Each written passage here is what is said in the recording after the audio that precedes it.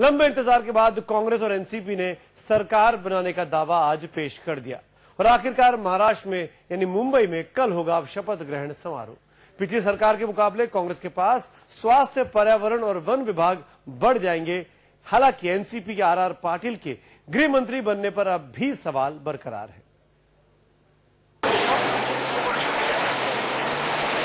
महाराष्ट्र के राज्यपाल की फटकार जनता में फजीहत और विपक्ष के दबाव के बाद आखिरकार 15 दिनों की जद्दोजहद के बाद कांग्रेस और एनसीपी ने सरकार बनाने का दावा पेश कर ही दिया। कांग्रेस से मुख्यमंत्री पद के उम्मीदवार अशोक चौहान ने 170 विधायकों के साथ अपना दावा पेश कर दिया। पर 170 लोगों के सिग्नेचर्स का हमने पत्र यहाँ पर राज्यपाल महोदय को आज दिया हुआ है और सरकार गठित करने के लिए हमें वो निमंत्रित करे, ऐसे हमने राज्यपाल महोदय को विनती की थी।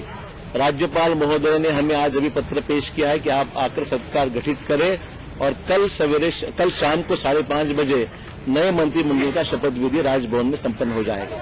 कांग्रेस और एनसीपी के बीच हुए समझौते के मुताबिक कांग्रेस के 23 और एनसीपी के 20 मंत्री होंगे।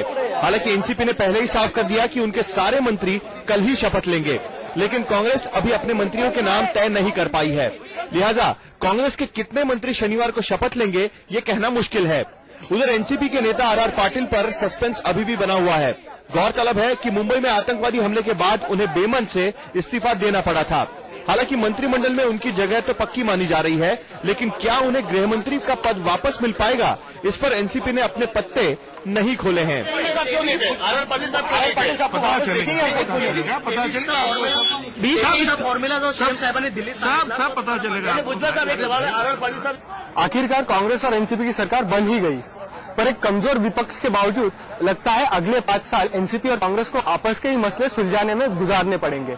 अभिषेक चौधरी के साथ राहुल महाजनी मुंबई आज तक। महाराष्ट्र में सरकार बनने का रास्ता साफ़ हुआ तो हरियाणा में भी आज कांग्रेस हालाकमान ने ग्रीन सिग्नल दे दिया है। भूपेंद्र सिंह हुडा का मंत्रिमंडल भी कल शपथ लेने वाला है।